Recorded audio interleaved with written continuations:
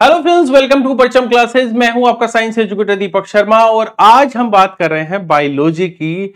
Biology की शुरुआत कर चुके हैं वाईटी पर।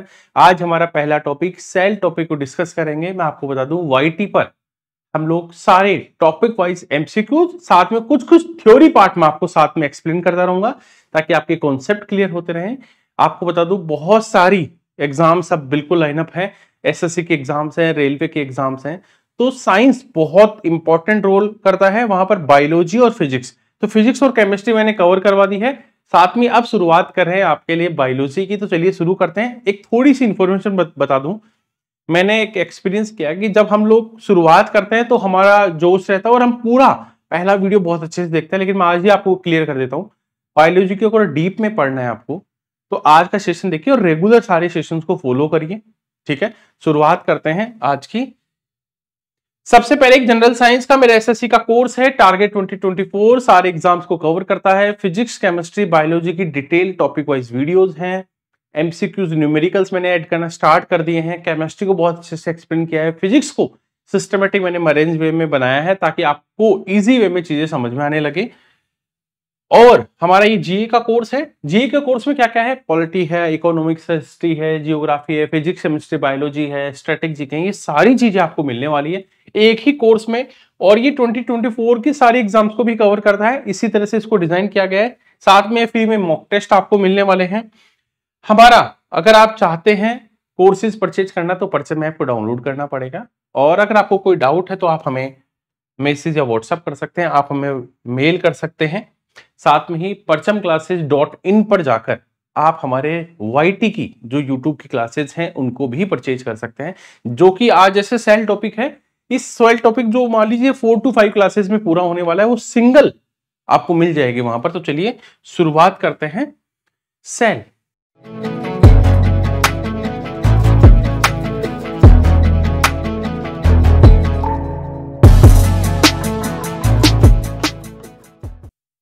देखिए, ये वर्ड आपको देखिए, शुरुआत में ही बता देता हूँ कि ये सेशन जब शुरू हो रहा है तो आपको लगेगा कि ये कुछ कुछ चीज़ें तो सर हमें ऑलरेडी पता है, लेकिन अब जब शुरुआत करें तो सारी चीज़ें ही क्लियर करनी पड़ेगी।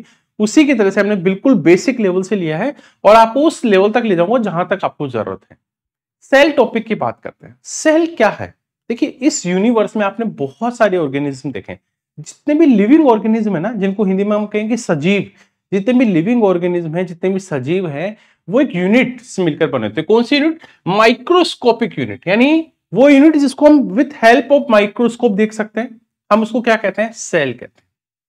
तो सेल क्या है? सेल किसी भी लिविंग ऑर्गेनिज्म जो भी है, वो किससे मिलकर बने होते हैं? वो सेल से मिलकर बने होते हैं और वो माइक्रोस्कोपिक यूनिट है। अब सेल एक्चुअल में क्या है? देखो, कोई भी ऑर्गेनिज्म होगा, कोई भी। प्लांट्स है बैक्टीरिया है ह्यूमंस हैं है ना काउ है टाइगर जितने भी लिविंग ऑर्गेनिज्म है, वो लिविंग ऑर्गेनिज्म कोई कोई स्ट्रक्चर होता है उनका और उनके अंदर फ़ंक्शन होता है। तो जो स्ट्रक्चरल और जो फंक्शनल यूनिट है, वो क्या है? सेल है। ये बहुत इंपॉर्टेंट लाइन है। बहुत बार इसे एमसीक्यू बनता भी है कि किसी भी लिविंग ऑर्गेनिज्म की स्ट्रक्चरल और फंक्शनल यूनिट क्या है? सेल है। स्ट्रक्चर यानी मान लीजिए ह्यूमंस है। हमारा जो स्ट्रक्चर बना है, वो किससे मिलकर बना है? सेल से मिलकर बना है। ठीक है? और जो हमारे फ़ंक्शन हो रहे हैं बॉडी में, वो क्या है? वो हमारी फ़ंक्शन कौन कर रहा है? सेल कर रहा है। आपको पता होना चाहिए, छोटी सी इंफॉर्मेशन आपको पहले ही देता हूँ कि हमारा जो भी लिविंग ऑर्गेनिज्म है किससे मिलकर बने होता है? सेल से मिलकर बने होते हैं। लेकिन ह्यूमंस में क्या होता है? सेल सेल के बाद बहुत सारे सेल्स मिलकर क्या बनाते हैं? टिश्यू बनाते हैं। टिश्यू से बहुत सारे टिश्यूज मिलकर क्या बनाते हैं? ऑर्गन बनाते हैं। ठीक है? जैसे हमारे बॉडी में बहुत सारे ऑर्गन है। ऑर्गन से क्या बनता है? ऑर्गन सिस्टम बनता है। है ना? जैसे डाइजेशन सिस्टम रेस्पिरेटरी सिस्टम और ऐसे ही हमारी ह्यूमन बॉडी का निर्माण होता है। कुछ ऐसा ही होता है। तो सेल ही इसकी बेसिक यूनिट है स्ट्रक्चरल यूनिट है फंक्शनल यूनिट है। आपको, है ना? अब हम जब स्टडी करते हैं, जब हम ब्रांचेस की बात करते हैं तो हम सेल की जो स्टडी है, उसका स्ट्रक्चर कैसे बनाया, उसका कंपोजिशन कैसे बनाया, इन सारी चीज़ों की स्टडी हम किसमें करते हैं? साइटोलॉजी ये जो वर्ड है साइटोलॉजी कुछ ऐसे कह सकते हैं स्टडी ऑफ़ सेल क्या होता है? साइटोलॉजी होता है। अब ये सेल की बात तो आ गई, लेकिन सबसे पहले सेल की हिस्ट्री में जाते हैं कि सेल की बात कहाँ से हुई, ये चर्चा शुरू कहाँ से होती है? तो एक साइंटिस्ट थे रॉबर्ट हुक रॉबर्ट हुक ने एक कॉर्क प्लांट जो है, वहाँ उन्होंने एक माइक्रोस्कोप जो उन्होंने खुद ने डेवलप किया था, उस माइक्रोस्कोप की हेल्प से देखा कि उन कॉर्क जो टिश्यूज हैं, उनमें कुछ फ़ंक्शंस उनको दिखा, कुछ स्ट्रक्चर हमें उनको दिखा। और ये स्ट्रक्चर कैसा था? एक बहुत स्मॉल रूम जैसा था। ऐसा लग रहा था छोटी छोटी स्मॉल रूम्स उसके अंदर है। तो सबसे पहले रोबोट हुक ने सेल के बारे में बात की, लेकिन जो सेल रोबोट हुक ने बात की थी, वो 1665 में की थी और वो सेल्स डेड सेल्स थी। कैसी थी? डेड सेल्स थी। मृत कोशिकाएँ थी डेड सेल्स थी। यानी कॉर्क टिश्यूज में जो उन्होंने एक स्ट्रक्चर देखा, है ना? और वो स्ट्रक्चर कैसा था? हनी बी है ना? जो मधुमक्खी का जो छत्ते जैसा होता है ना, उसमें बहुत सारे स्ट्रक्चर कुछ ऐसा समझिए, मान लीजिए कुछ ऐसा होगा, जिसमें ऐसे छोटे छोटे बॉक्सेस बने थे, ऐसे। ऐसा उन्होंने देखा और फिर उन्होंने उसको क्या बोला? उन्होंने इसको बोला सेल एक्चुअल में सेल वर्ड कैसे आया होगा? समझिए। सेल एक ग्रीक वर्ड है सेल्यूला उससे आया है, सेली, है ना? एक्चुअल में, आपने पता हो तो फॉरेन कंट्रीज़ में यूरोपियन कंट्रीज़ में क्या होता था? जहाँ पर कैदियों को जिस रूम में रखा जाता था, उसको सेल बोलते थे। क्या बोलते थे? जिस रूम में कैदियों को रखा जाता था, उसको सेल बोलते थे। उसी से निकल कर आया है, जिसका सेल्यूला और इसका रियल मतलब क्या होता है? स्मॉल रूम तो ऐसा लग रहा है जैसे छोटे छोटे स्मॉल रूम से तो इस तरह से रोबोट हुक ने सबसे पहले सेल की बात की। हमने क्या देखा? हमने देखा सेल का कंपोजिशन उसकी बेसिक स्ट्रक्चरल यूनिट क्या है? उसको हम किसमें स्टडी करते हैं? और ये वर्ड कहाँ से डाइवर्ट हुआ है?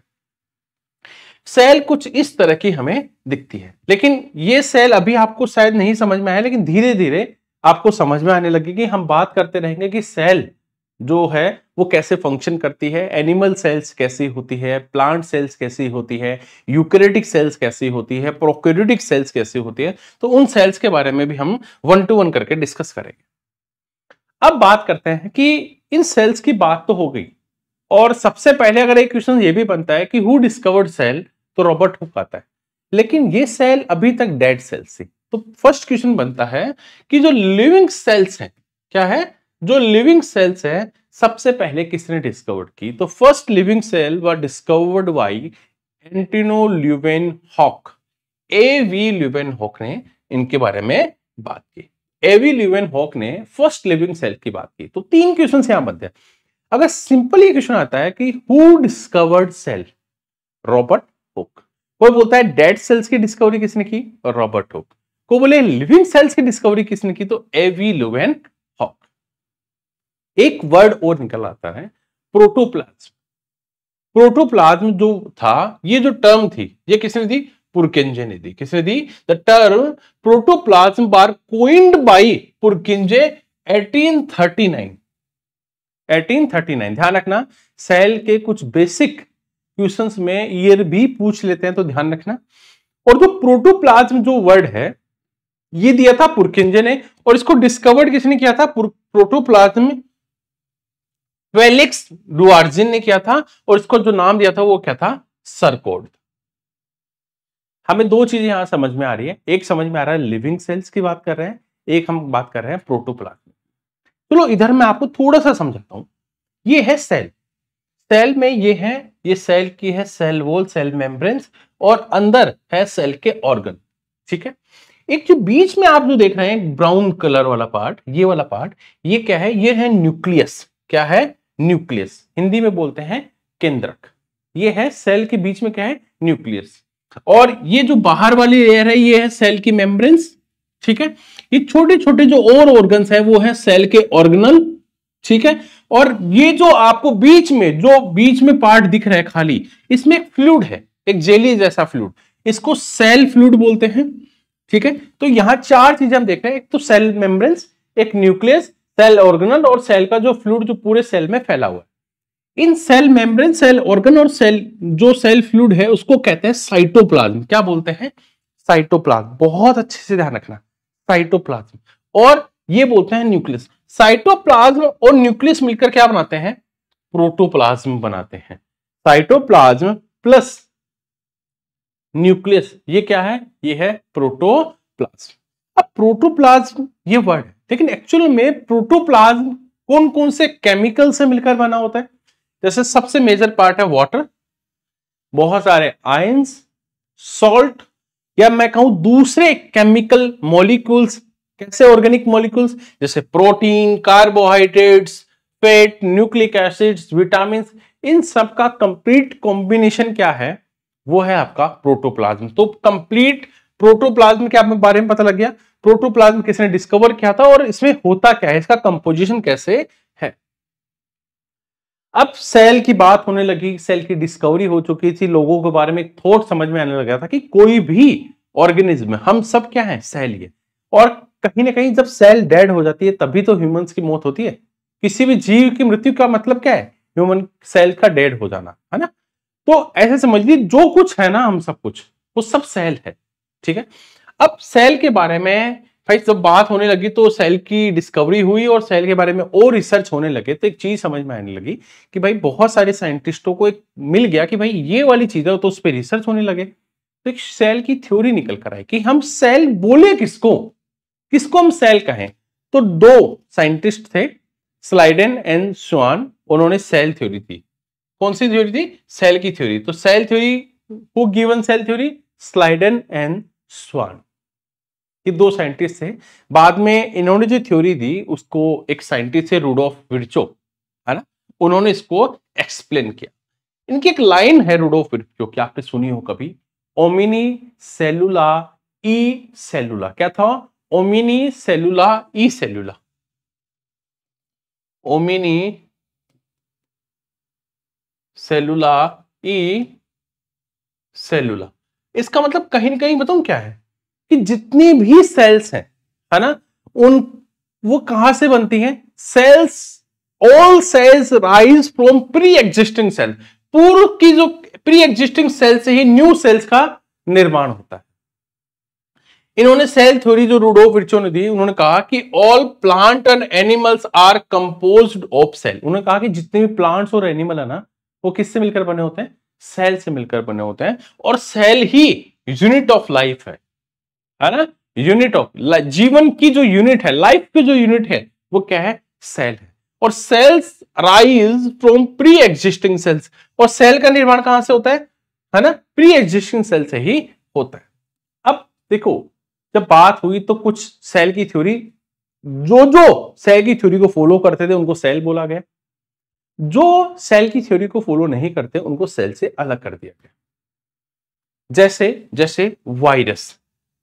वायरस एक तरह से सेल थ्योरी को फॉलो नहीं करते। प्रियोन। प्रियोन, ये भी सेल थ्योरी को फॉलो नहीं करते। सर, ये सेल थ्योरी को फॉलो क्यों नहीं करते हैं? जबकि बैक्टीरिया में तो जान भी होती है है ना? तो अभी वायरस आया था, कोरोना वायरस, है ना? वायरस तो सर ज़िंदा होते हैं। फिर उनको हम लोग सेल की कैटेगरी में क्यों काउंट नहीं करते? देखो, आपने एक बात सुनी होगी कि वायरस एक्चुअल में कब एक्टिव होते हैं? जब वो अपनी फेवरेबल कंडीशन में आ जाते हैं। उनको अगर फेवरेबल कंडीशन आ गई तो बिल्कुल ऐसे बात करेंगे जैसे वो लिविंग है। और जब वो फेवरेबल कंडीशन में नहीं होते तो डेड की तरह तो कंप्लीट फॉलो नहीं करते, है ना? तो इनको अलग रखा गया। है ना? प्रियोन भी कुछ ऐसा ही है जो सेल थ्योरी को फॉलो नहीं करते। प्रियोन्स हम कब पढ़ते हैं? जब हम लोग प्लांट डिज़ीज़ की बात करते हैं, तब इसके बारे में हम लोग बात करते हैं। देखो, ये दो साइंटिस्ट थे स्लाइडन एंड स्वान ये दो साइंटिस्ट थे, ये थे रूडोफ विर्चो ठीक है? और ये तो आप जानते ही हैं रॉबर्ट होक बहुत फ़ेमस ये कहते हैं बायोलॉजी में सेल से ही सब कुछ शुरू होता है। तो ये बहुत बड़े साइंटिस्ट हैं, ठीक है, रॉबर्ट हुक और स्लाइडेन चौहान जिन्होंने सेल थ्योरी दी, लेकिन पूरा क्लियर नहीं कर पाए सेल थ्योरी को तो बाद में उसको क्लियर किया रूडोफ विर्चो ने और इन्होंने एक लाइन दी, है ना, ओमिनी सेलुला ई सेलुला। हमने प्लांट की डिस्कवरी के साथ साथ सेल थ्योरी को पढ़ा। अब हम पढ़ रहे हैं कि सेल के टाइप क्या है। सेल के टाइप हम टू टाइप से डिस्कस करेंगे। On the basis of number of cells के बेसिस पे डिस्कस करेंगे, और दूसरा हम करेंगे उनके टाइप ऑफ़ ऑर्गेनाइजेशन में, है ना? कि उनका कंपोजिशन कैसे है उनका, और उनका नंबर ऑफ़ सेल्स के बेसिस पे हम लोग सेल को डिवाइड करते हैं। दो वर्ड आपके सामने लिखे यूनिसेल्युलर ऑर्गेनिज्म और मल्टी सेल्युलर ऑर्गेनिज्म यानी यूनिसेलुलर और मल्टी सेलुलर यूनिसेलुलर और मल्टी सेलुलर का डिफरेंस कैसे these are organism which made up of single cell only यानी जो भी ऑर्गेनिज्म है, अगर वो उसका फॉर्मेशन है ना, वो अगर सिंगल सेल से मिलकर बना है तो वो क्या है? यूनिसेलुलर यूनि है ना? एक यूनि यानी वन सेलुलर यानी सेल जो एक सेल से मिलकर बना है। मल्टी सेलुलर यानी जो एक से ज़्यादा सेल से मिलकर बना है। अब इसके एग्जाम्पल्स क्या होते हैं? इसमें जैसे यूनिसेलुलर का एग्ज़ाम्पल है अमीबा और मल्टी सेलुलर तो बहुत सारे, हम सारे क्या है, सब मल्टी सेलुलर है प्लांट और एनिमल्स क्या है मल्टी सेलुलर है। एक चीज़ और इसमें समझते हैं। पता है आपको, एक सिंगल सेल है ना सिंगल सेल जो माइक्रोस्कोपिक सेल है, जिसको हम नेक्ट आई से देख भी नहीं पाएँगे, उसमें वो सिंगल सेल भी पूरी है को हमारी बॉडी में पता नहीं करोड़ों सेल्स हैं। क्योंकि बहुत सारी सेल्स हैं, फिर टिश्यूज हैं, उनसे ऑर्गन्स बने हैं ऑर्गन सिस्टम बनाया है, फिर हमारी बॉडी लेकिन एक सिंगल सेल भी किसी का जीवन हो सकती है है ना?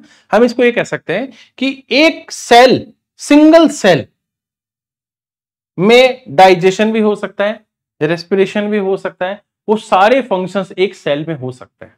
यानी एक सेल भी एक लाइफ हो सकती है, आप ऐसा समझिए। इसका एग्ज़ाम्पल है अमीबा ठीक है? और मल्टी सेलुलर में क्या होता है? बहुत सारी सेल्स मिलकर फ़ंक्शन करती है। कुछ सेल्स डाइजेशन का काम करती हैं, कुछ रेस्पिरेशन का काम करती हैं, कुछ, ठीक है? इस तरह से बॉडी की डिफरेंट डिफरेंट फ़ंक्शंस को डिफरेंट डिफरेंट सेल्स करती हैं। या उन सेल्स के बहुत सारी सेल्स मिलकर टिश्यू करती है और बहुत सारे फ़ंक्शन फिर टिश्यू करते हैं। या वो सारी सेल्स मिलकर ऑर्गन्स बनाती हैं तो हर ऑर्गन अपना अपना फ़ंक्शन करता है।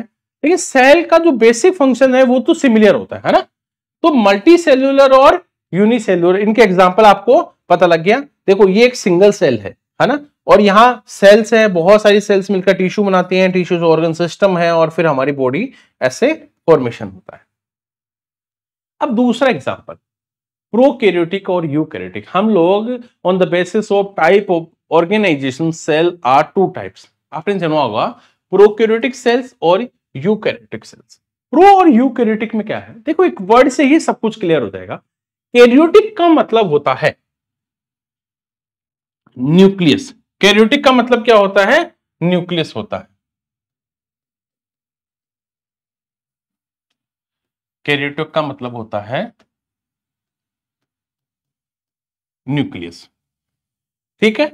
और प्रो प्रो यानी पहले, वो सेल्स जिनमें जो न्यूक्लियस के बनने से पहले थी, यानी उनमें न्यूक्लियस नहीं होता था। प्रो यानी फ़र्स्ट पहले, और कैरियोटिक यानी न्यूक्लियस सेल यानी सेल वो सेल्स जो न्यूक्लियस के बनने से पहले थे, यानी उन सेल्स में न्यूक्लियस नहीं होता था।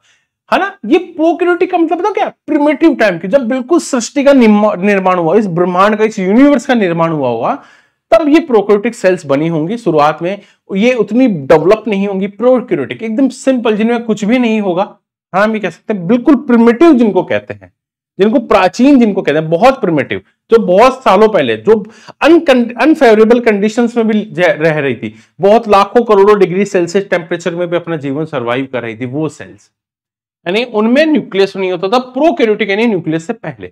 यूकैरियोटिक यू यानी ट्रू यू का मतलब क्या होता है? ट्रू और न्यूक्लियस कैरियोटिक यानी न्यूक्लियस जिनमें सच में न्यूक्लियस होता है ट्रू न्यूक्लियस होता है, वास्तविक में उनमें न्यूक्लियस होता है, वो है यू यूकैरियोटिक तो देखो, इसमें कहीं भी न्यूक्लियस नहीं है, कहीं भी, लेकिन इसमें देखो, इसमें न्यूक्लियस है। एक चीज़ और थोड़ा सा बता देता हूँ।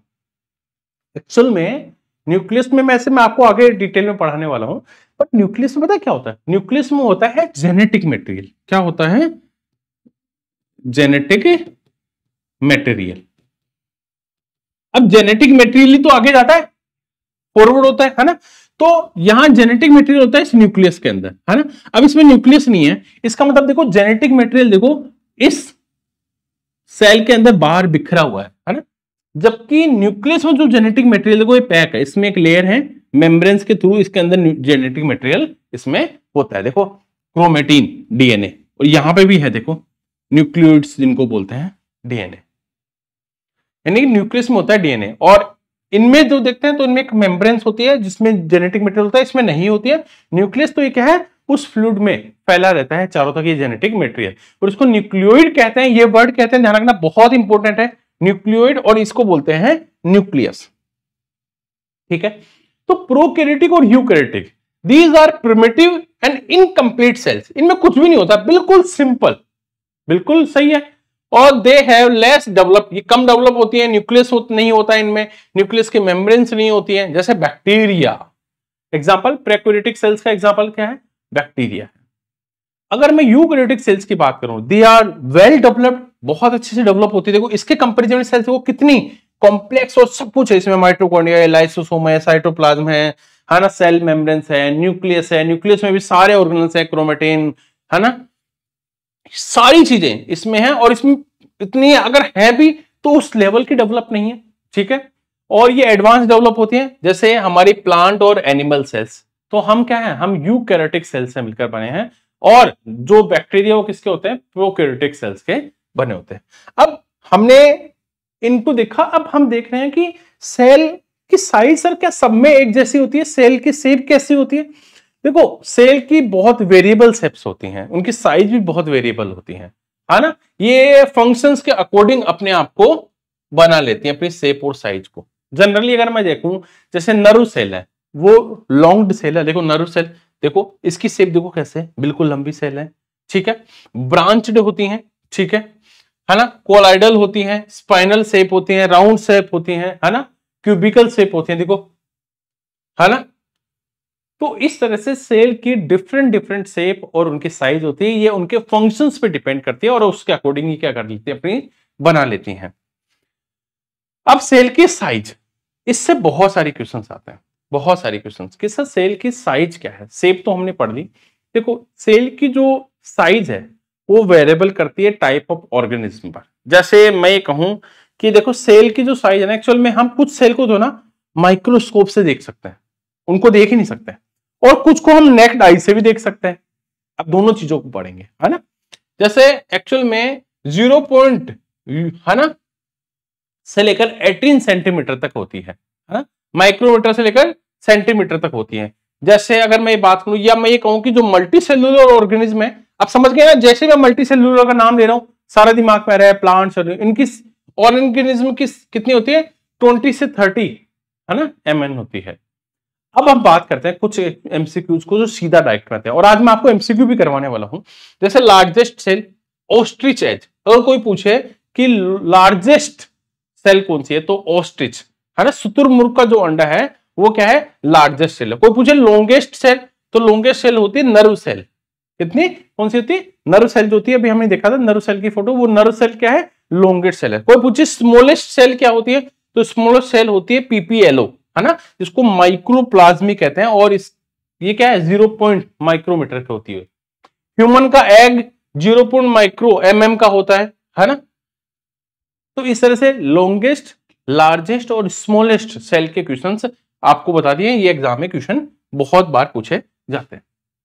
अब मैं आपको एक चीज़ पढ़ाता हूँ। सबसे पहले हम कुछ एमसीक्यूज को करने वाले हैं और आप सबको कंफर्म हर एक सवाल का जवाब कमेंट बॉक्स में देना है। सारे मैंने पढ़ा दिए बस आपको मेरे साथ प्रैक्टिस करनी है।